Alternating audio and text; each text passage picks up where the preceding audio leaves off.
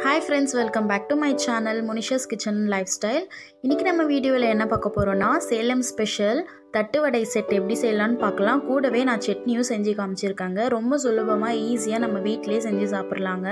இது வந்து சேலமில் ரோட் சைட்லலாம் விற்குவாங்க ரொம்ப சூப்பராக இருக்கும்னு சொல்லியிருந்தாங்க. அதனால் நான் இன்றைக்கி உங்களுக்கு செஞ்சு காட்டியிருக்கேன். பாருங்கள் இதோட செட்டே பார்த்தீங்கன்னா அவ்வளோ சூப்பராக இருக்கும் பார்க்குறதுக்கு. நல்லா கலர்ஃபுல்லாக இருக்குது வாங்க எப்படி செய்யலான்னு பார்க்கலாம். ஃபஸ்ட்டு வந்து ஸ்டெப் ஒன் க்ரீன் சட்னி எப்படி செய்யலான்னு பார்க்கலாம். தேங்காய் சிறிதளவு எடுத்துக்கோங்க.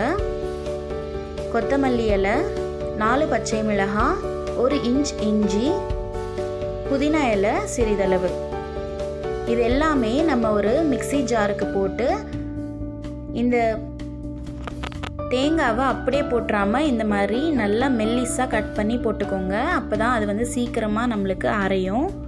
இதே மாதிரியே நம்ம இஞ்சியை கூட நல்லா பொடியாக நறுக்கி எடுத்துக்கலாம்.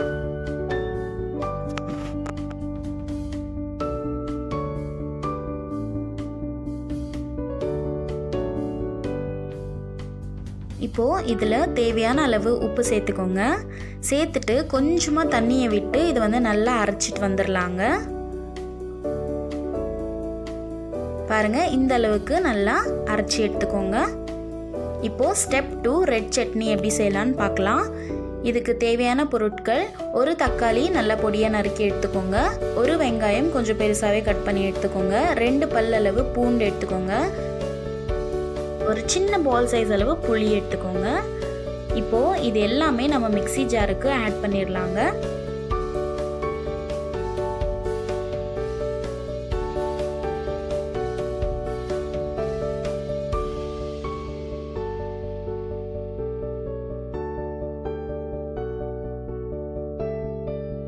பண்ணிவிட்டு கடைசியாக வரமிளகா நாலு சேர்த்துக்கோங்க. சேர்த்துட்டு இதை வந்து அரைச்சிட்டு வந்துடலாம் பாருங்கள் இந்த மாதிரி சூப்பராக அரைஞ்சிருக்கணும். இது வந்து ஒரு கடாயில் ஒரு டீஸ்பூன் அளவு எண்ணெய் ஊற்றி நல்லா ஈட் பண்ணி அரைச்சி வச்சுருக்க பேஸ்ட்டை வந்து அதில் போட்டுருங்க. போட்டுட்டு நல்லா மிக்ஸ் பண்ணி எடுத்துக்கோங்க. அப்போ தான் அதோட பச்சை ஸ்மெல் போகும். இப்போ பாருங்கள் நல்லா ட்ரை ஆகிருக்கு நம்மளுடைய ரெட் சட்னி சூப்பராக ரெடி ஆகிருக்கு நம்மளுடைய க்ரீன் சட்னியும் சூப்பராக ரெடி ஆகிருக்கு இப்போ வாங்க நம்ம தட்டு வடை எப்படி செய்யலான்னு பார்க்கலாம். ஸ்டெப் த்ரீ தட்டுவடை மேக்கிங் இதுக்கு வந்து நான் ரெண்டு கப் அளவு அரிசி மாவு எடுத்திருக்கேன். ஒரு கப் ஆல்ரெடி நான் வந்து மிக்சிங் பவுலில் போட்டிருக்கேன். ரெண்டாவது கப்பை நான் இப்போ சேர்த்துக்கிறேன். எல்ஜி பெருங்காயம் சேர்த்துக்கோங்க. ஒரு டீஸ்பூன் அளவு. கடலைப்பருப்பை நான் வந்து அரை மணி நேரத்துக்கு முன்னாடியே இது வந்து நல்லா ஊற வச்சு எடுத்திருக்கேங்க. உப்பு தேவையான அளவு எடுத்துக்கோங்க. ஒரு டேபிள் ஸ்பூன் அளவு பட்டர் எடுத்திருக்கேன். பட்டர் இல்லைன்னா எண்ணெய் கூட நீங்கள் எடுத்துக்கலாம். அரை கப் அளவு பொட்டுக்கடலை எடுத்திருக்கேன். இது வந்து மிக்சிக்கு போட்டு நல்ல பவுடர் மாதிரி அரைச்சிட்டு வந்துடணுங்க. நல்ல மாவு மாதிரி இருக்கணும் இந்த மாதிரி. இப்போ வாங்க நம்ம எப்படி செய்யலான்னு பார்த்துடலாம் ஒரு மிக்சிங் பவுலில் அரிசி மாவை நம்ம கொட்டியாச்சு. அரைச்சி வச்சுருக்க பொட்டுக்கடலை சேர்த்துக்கலாம். மிக்சி ஜார்லேயே கொஞ்சம் ஒட்டிகிட்டு இருக்கோங்க அது எல்லாமே நீட்டாக நம்ம சேர்த்துக்கலாம். சேர்த்துட்டு நம்ம ஊற வச்சு வச்சுருக்க கடலை பருப்பை வந்து தண்ணி இருத்துட்டு சேர்த்துக்கலாம்.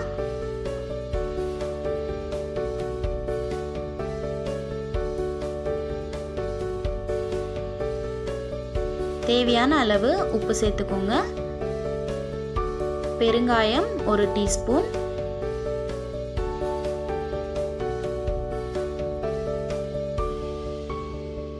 சேர்த்துட்டு இதை வந்து நல்லா மிக்ஸ் பண்ணி எடுத்துக்கோங்க.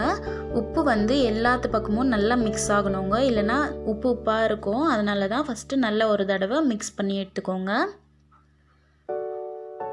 இதில் பார்த்தீங்கன்னா நீங்கள் மிளகாய் தூள் கூட சேர்த்துக்கலாம். நான் வந்து இன்றைக்கி சேர்க்கலை.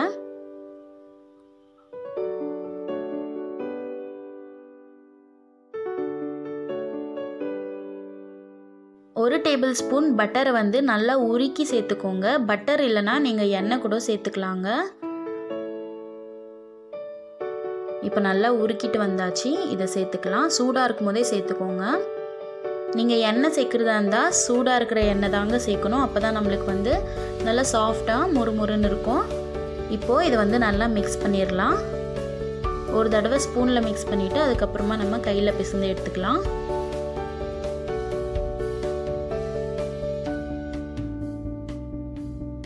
ஓகே இப்போ பாருங்கள் நல்லா நம்மளுக்கு உதிரி உதிரியாக வந்திருக்கு. இப்போது நம்ம தேவையான அளவு தண்ணியை கொஞ்சம் கொஞ்சமாக ஊற்றி ஊற்றி சேர்த்துக்கலாங்க. ஒரேடியாக தண்ணி சேர்த்துறாதீங்க. கொஞ்சம் கொஞ்சமாக தண்ணியை தெளித்து சேர்த்துக்கோங்க.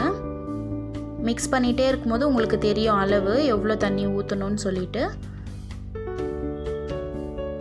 நல்லா சப்பாத்தி மாவை விட நல்லா சாஃப்டாகவே பிசைந்து எடுத்துக்கணுங்க. எவ்வளோ தண்ணி வேணுமோ அதுக்கேற்ற மாதிரி கொஞ்சம் கொஞ்சமாகவே சேர்த்துக்கோங்க. நிறைய தண்ணி சேர்த்துட்டிங்கன்னா அது வந்து ரொம்ப தண்ணி ஆகிடும் அந்த மாதிரி தண்ணி ஆயிடுச்சுன்னா நீங்கள் கொஞ்சம் அரிசி மாவு கூட சேர்த்துக்கோங்க. பாருங்கள் இந்த அளவுக்கு சாஃப்டாக இருக்கணும். இப்போ இதை வந்து உருட்டிடலாம். சின்ன பால் சைஸ் அளவு எடுத்துக்கோங்க. எடுத்து இதை வந்து நல்லா உருட்டி ஒரு பிளேட்டில் வச்சுக்கோங்க.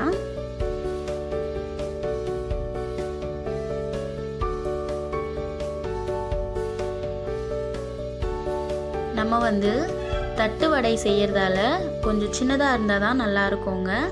அதனால் கொஞ்சம் சின்னதாகவே நீங்கள் உருட்டி எடுத்துக்கலாம். இல்லை உங்களுக்கு பெருசாக வேணும்னா அது வந்து உங்களுடைய விருப்பம். நீங்கள் பெருசாக கூட நீங்கள் தட்டிக்கலாங்க. இப்போ பாருங்கள் எல்லாமே உருட்டி வச்சாச்சு. இந்த மாதிரி ஒரு பட்டர் பேப்பர் எடுத்துக்கோங்க. உங்ககிட்ட பட்டர் பேப்பர் இல்லைன்னா எண்ணெய் கவர் இருக்கும் இல்லையா அந்த கவர் கூட நீங்கள் பண்ணிக்கலாங்க. இப்போ இந்த பட்டர் பேப்பரில் உருட்டி வச்சுருக்க மாவை வந்து நான் வச்சிடுறேன்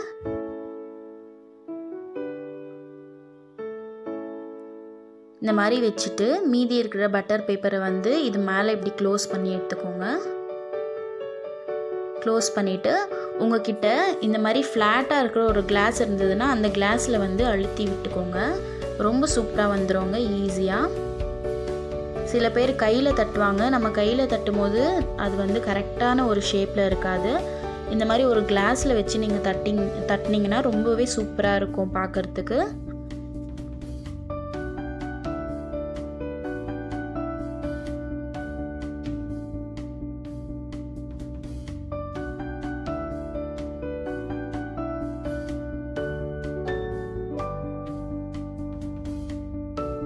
பாருங்கள் சூப்பராக தட்டியாச்சு. இதை வந்து எடுத்திங்கன்னா அப்படியே ஈஸியாக உங்களுக்கு வந்துடுங்க இப்போது ஒரு கடாயில் பொரிக்கிறதுக்கு தேவையான அளவு எண்ணெய் ஊற்றி நல்லா ஈட் பண்ணி வச்சுருக்கேன். அதில் நம்ம தட்டி வச்சுருக்க தட்டு வடை எல்லாமே சேர்த்துடலாங்க. சேர்த்துட்டு இது வந்து நல்லா டீப் ஃப்ரை பண்ணி எடுத்துக்கோங்க. மீடியம் ஃப்ளேமில் வச்சுக்கோங்க. அது வந்து நல்லா கிறிஸ்பியாக நம்மளுக்கு கிடைக்கும். நல்ல ஒரு கோல்டன் ப்ரௌன் கலர் வர வரைக்கும் அதை வந்து ஃப்ரை பண்ணி எடுத்துக்கலாம். இது வந்து அப்பப்போ திருப்பி போட்டுகிட்டே இருக்கணுங்க.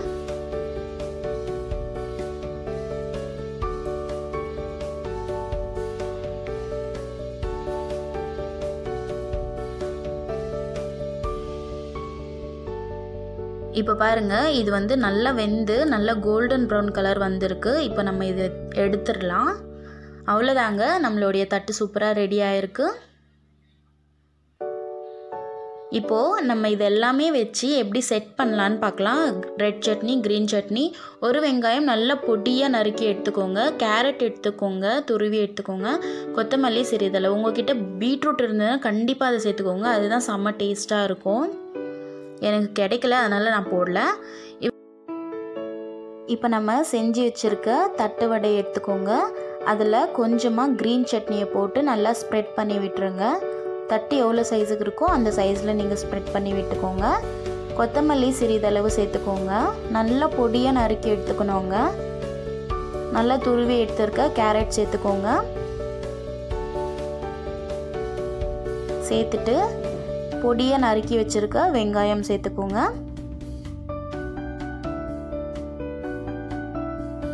சேர்த்துட்டு இன்னொரு தட்டை எடுத்துக்கோங்க. இதில் வந்து நம்ம ரெட் சட்னி அரைச்சி வச்சுருக்கோம் இல்லையா?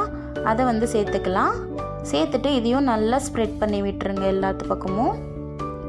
ஸ்ப்ரெட் பண்ணிவிட்டு இதை அப்படியே க்ளோஸ் பண்ணிவிடுங்க அவ்வளோதாங்க. நம்மளுடைய ரோட்டு சைடு தட்டு வந்து ரொம்ப சூப்பராகவே ரெடியாக இருக்குது பார்க்குறதுக்கே எவ்வளோ கலர்ஃபுல்லாக இருக்குது பாருங்கள் நல்ல ஹெல்த்தியானதுங்க குழந்தைங்களுக்கு கொடுக்கலாம். ஒரு ஈவினிங் ஸ்நாக்காக இருக்கும். ரொம்ப சூப்பராக விரும்பி சாப்பிடுவாங்க வீட்டில் இருக்கிறவங்க எல்லாருமே. நீங்கள் கண்டிப்பாக இந்த தட்டு வடையை வீட்டில் ரெடி பண்ணிவிட்டு எனக்கு கமெண்ட் செஷனில் கொடுங்க. உங்களுடைய ஃபீட்பேக்கு அந்த கமெண்ட்ஸை பார்க்கும் போதெல்லாம் எனக்கு மேலும் மேலும் நல்ல வீடியோஸ் போடணுன்ற ஒரு ஆர்வம் வரும். அதனால் இந்த வீடியோ உங்களுக்கு பிடிச்சதுன்னா லைக் பண்ணுங்கள் ஷேர் பண்ணுங்கள் சப்ஸ்கிரைப் பண்ணுங்கள் மறக்காமல் அந்த பெல் ஐக்கானை கிளிக் பண்ணுங்கள் தேங்க்யூ